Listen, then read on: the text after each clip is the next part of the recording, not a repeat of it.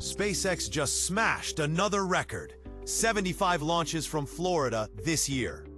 On September 3rd, another Falcon 9 soared from Cape Canaveral, carrying 28 brand new Starlink satellites. This is the 75th time this year a SpaceX rocket has gone orbital from the Space Coast.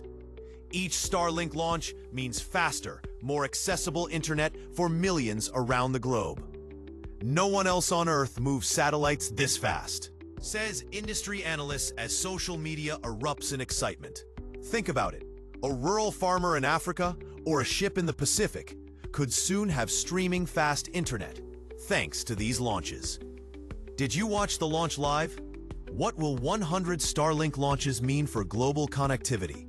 With SpaceX setting these records, will rivals ever catch up?